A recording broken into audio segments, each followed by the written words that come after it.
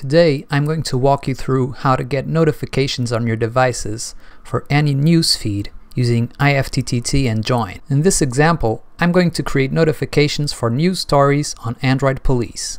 Start by going into ifttt.com and click on My Recipes. Then create a recipe. Click on this and type RSS in the search box.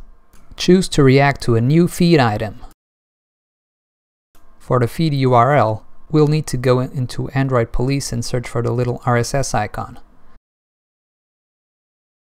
Click on it, copy its link, and go back to IFTTT. Then paste the link you just copied. Create the trigger, then click on That. Now type Maker in the search box and click on the Maker channel. The Maker channel allows us to make any web request right from IFTTT. To get notifications on your phone, you'll need to call a special join URL that's available here on this page. Click on a device and then click the Join API button. Here you can easily create the join URL you need. Just enter some placeholder text, title, icon URL, and URL. Copy the link and paste it on IFTTT. Now we'll need to replace the placeholders for the actual text that comes from the RSS feed. An important detail to remember is that you need to encode all the parameters you use in the URL.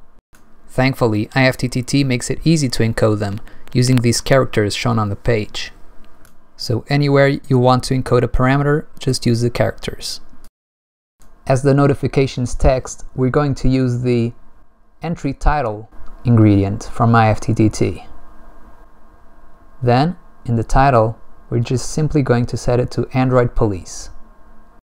For the icon, we're going to use this Android Police icon I looked up before.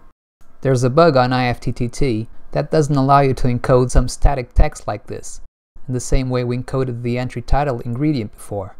It seems to only work for encoding ingredients, so we'll need to do it manually for this one. Open this website, paste the icon URL there, select encode, and copy the results to IFTTT. Finally, we're going to replace the URL placeholder and use an, another ingredient from IFTTT. Don't forget to encode it and use the entry URL.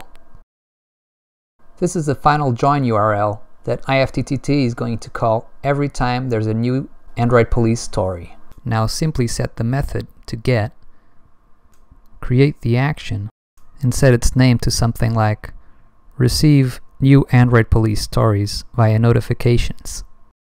Click on create recipe and you're done.